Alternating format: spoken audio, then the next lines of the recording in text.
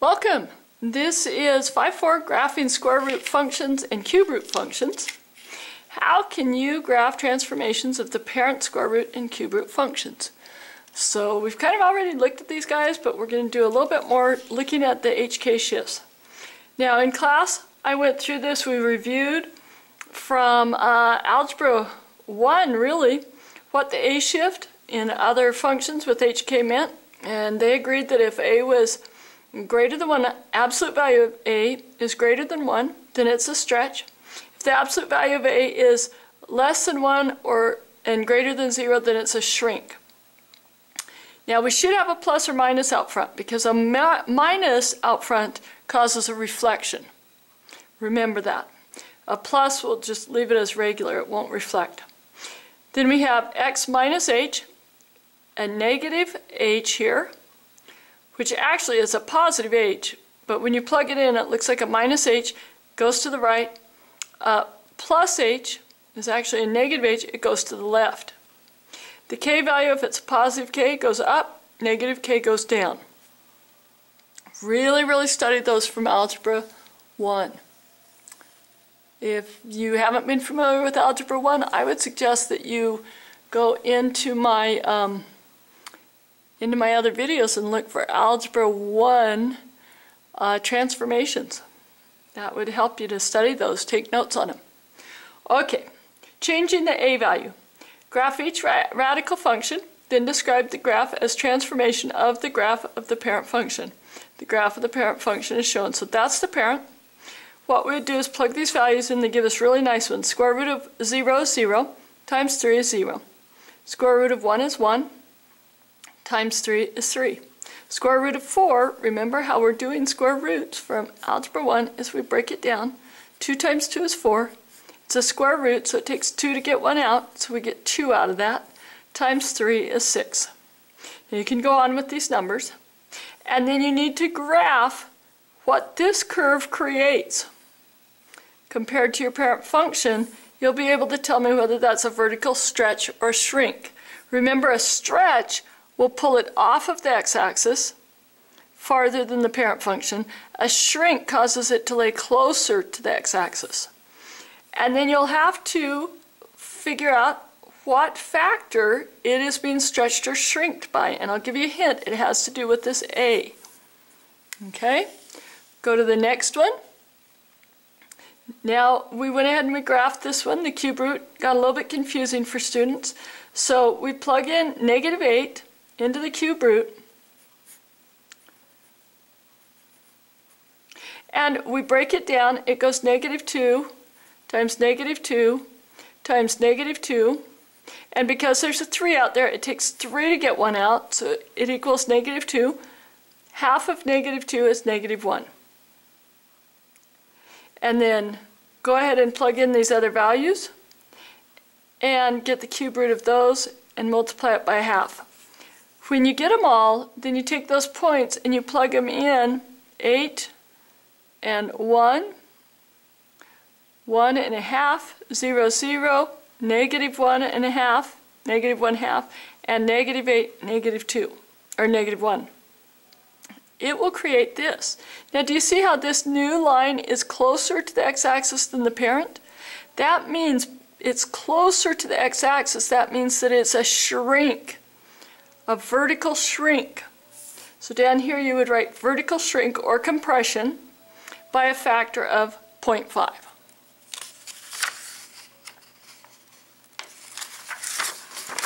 These are so much fun. I love them. Okay, now in part A, why does it make sense to use the values 0, 1, 4, 9, and 16?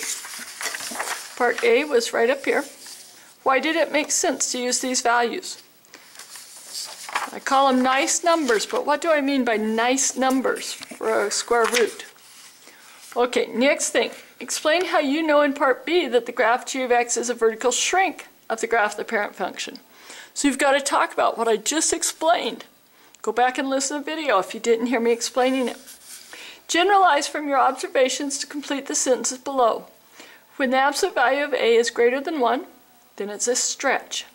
When the absolute value of A is less than 1 or greater than 0, it's a shrink or a compression. Make sure you have both words.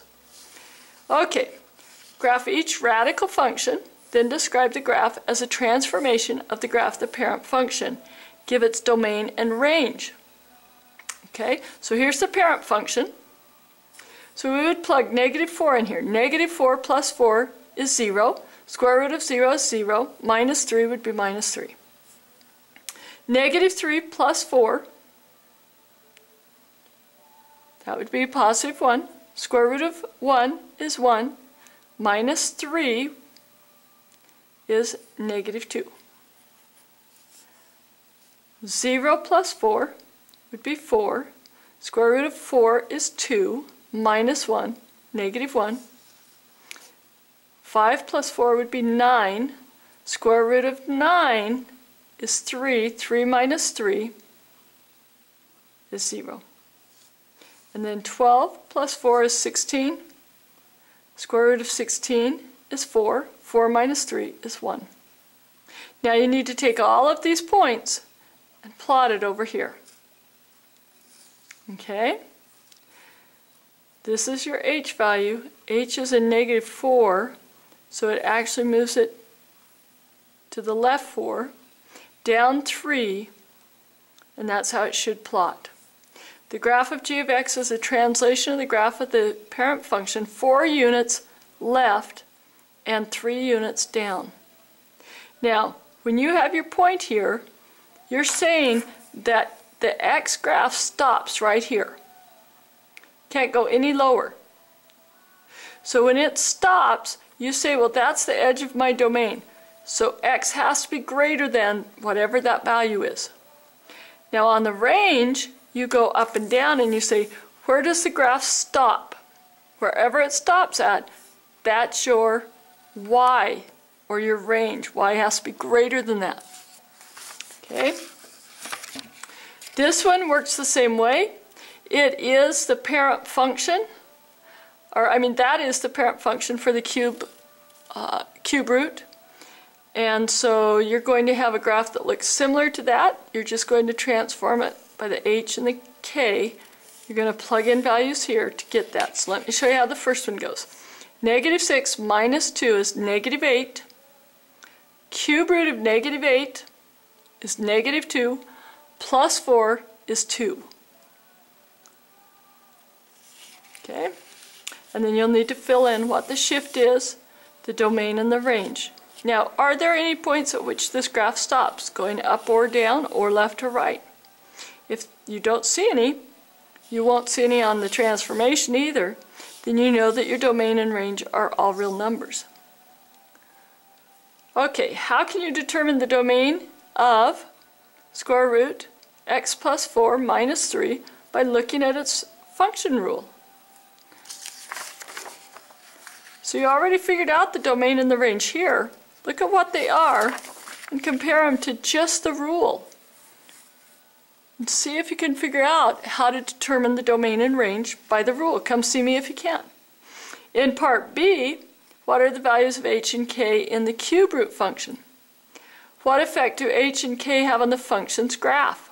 So explain what happens with those h and k values in regards to this graph right here. Generalize from your observations to complete the sentences below. For g of x, square root x minus h plus k, and for g of x, x cubed, uh, x cube root, I'm sorry, cube root x minus h plus k. The graph of gx x is a translation of the parent graph h units left if h is less than 0, h units right if h is greater than 0. And we showed how it looks. When it's a positive h value, it looks negative. When it's a negative h value, we put the two negatives together and we get a positive, so it looks different.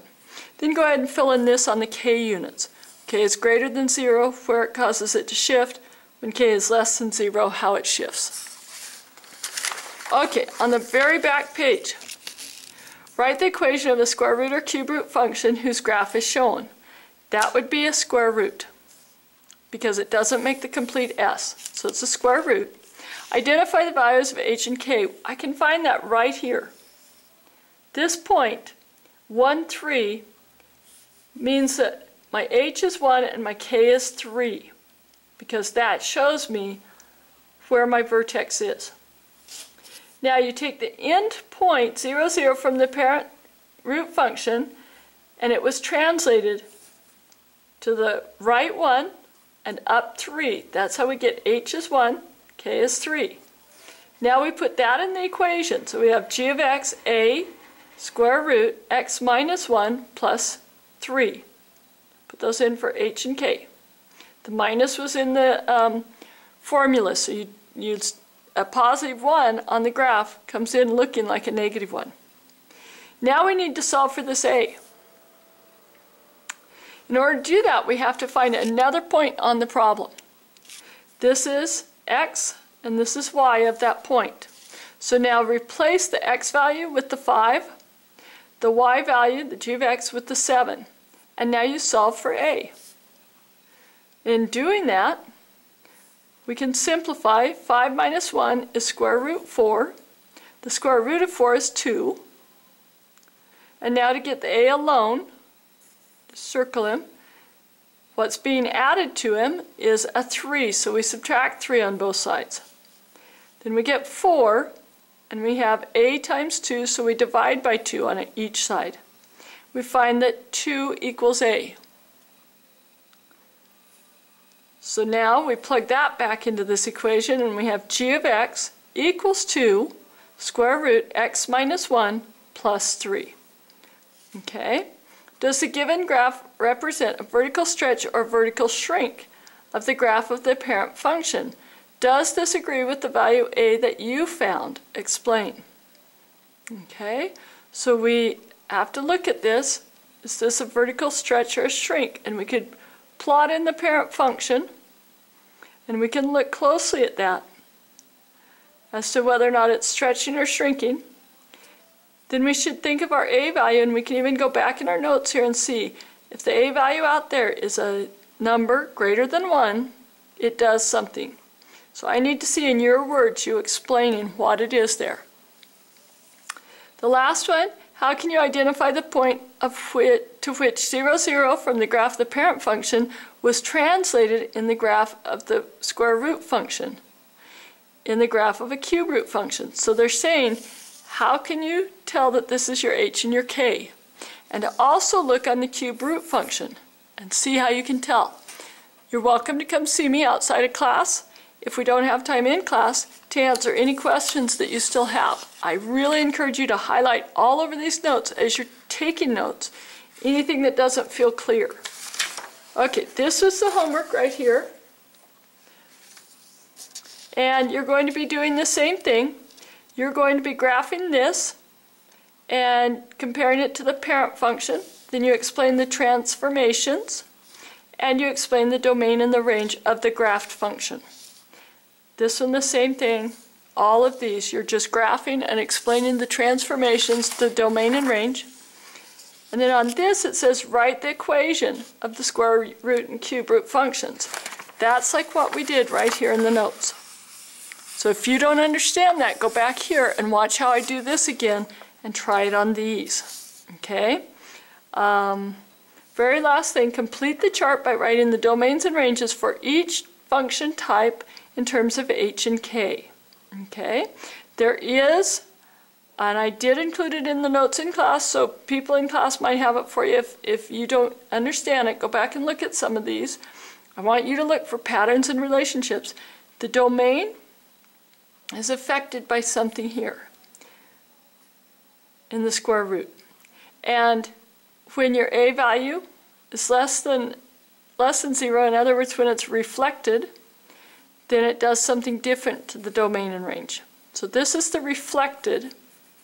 It's kind of hard to see because they, I just like to say it's got a negative out front. And it's got a negative A. This one is your uh, regular, where it's got a positive A. Okay, just explain how H and K affect domain and range on each of those. And then on cube roots, let me know if there is an effect of the h and k on the domain and range for these. The last one, which function has a greater minimum value? This one or this one, well, you're going to need to graph this one in order to know whether or not it's got a value that's below zero, because the minimum value on this one is uh, 2, 0. So you'll have to graph that one to see if it's below that. Good luck on this. I'll see you tomorrow in class. Thank you very much.